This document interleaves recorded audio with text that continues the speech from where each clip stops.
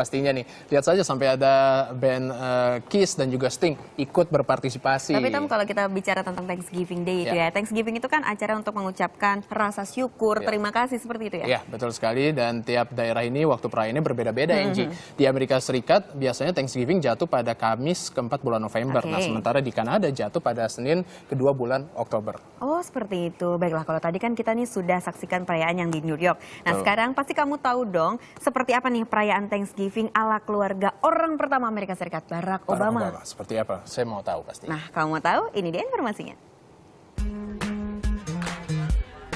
Dapur Umum Bradford City di Washington DC, Amerika Serikat, kedatangan relawan istimewa.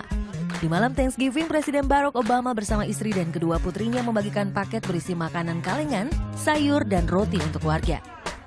Sehari-hari dapur umum ini menyediakan makanan, pakaian, dan jasa lain untuk warga tak mampu.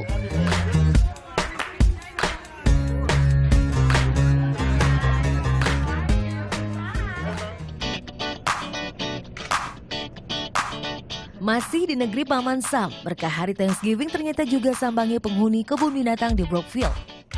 Sekelompok lemur menikmati hidangan khusus yang disediakan pengelola kebun binatang. Mereka juga disuguhi kalkun, sajian khas hari Thanksgiving. Namun kalkun yang mereka santap terbuat dari biskuit, ubi, dan kacang hijau.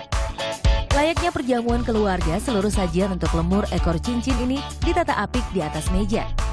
Perayaan Thanksgiving dirayakan warga Amerika setiap hari Kamis keempat di bulan November. Momen ini juga dimanfaatkan semua orang untuk mengucap syukur sambil makan bersama.